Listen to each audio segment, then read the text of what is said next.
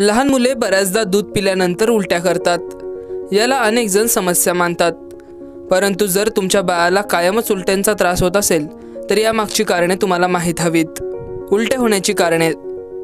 जन्मानंतर बाळ त्याच्या बाह्य वातावरण आणि अन्नाशी जुळवून घेण्याचा प्रयत्न करत असतं.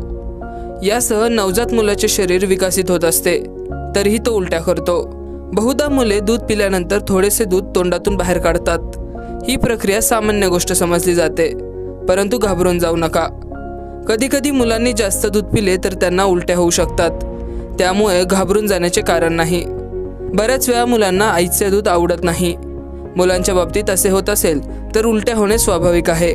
कधीकधी आईच्या दुधात काही घटक असतात ज्यामुळे मुले उलट्या करतात.